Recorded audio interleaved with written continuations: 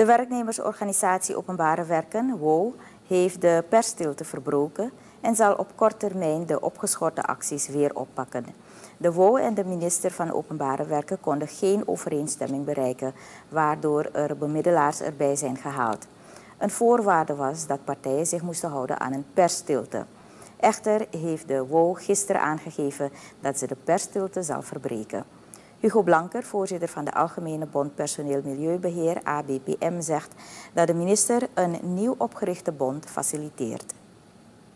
In plaats daarvan is hij bezig nu om mensen, volgens onze collega, onze zusterorganisatie de WO, is hij bezig om te proberen uh, mensen te, te faciliteren, die andere bonden te faciliteren, om richting Nikeri mensen te gaan, gaan uh, ronselen. Ze hebben geprobeerd met een paar diensten onderweg. Ze hebben dat geprobeerd. En uh, die diensten die hebben gezegd, ik bemoei niet. Maar mind you, het zou de laatste dag van die mensen, ze zullen worden ontheven. En die mensen gaan, ik daag u uit, laat die mensen samen met mij. Of wie dat ook. Op de micro, dezelfde microfoon zijn. Ik weet waar u woont. Maar loop naar je huis. Kijk hoeveel gaat er in de straat zijn. Laat die mensen dat soort dingen doen. Ja?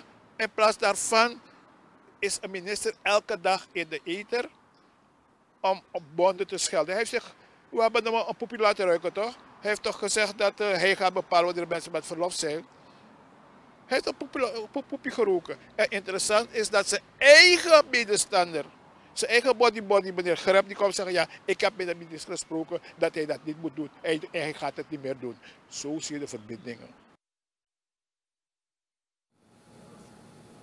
In een verklaring zeggen de bestaande bonden bij het ministerie van OW, namelijk WO en ABPM, dat terwijl er bemiddeld wordt, de minister bezig is een nieuw opgerichte bond te faciliteren. De WO en de ABPM hebben het gevoel dat ze ondermijnd worden. Onze nieuwsdienst heeft de minister van OW niet kunnen bereiken voor een reactie.